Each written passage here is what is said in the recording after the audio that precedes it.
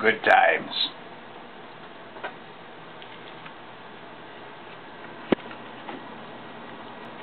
Oh yeah.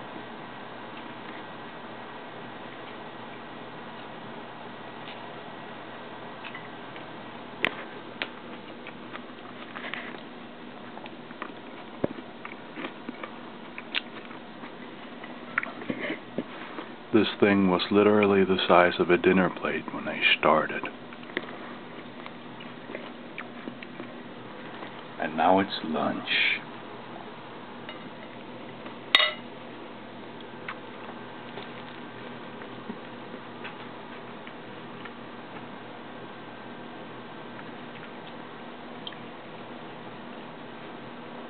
Feels ridiculously good, man.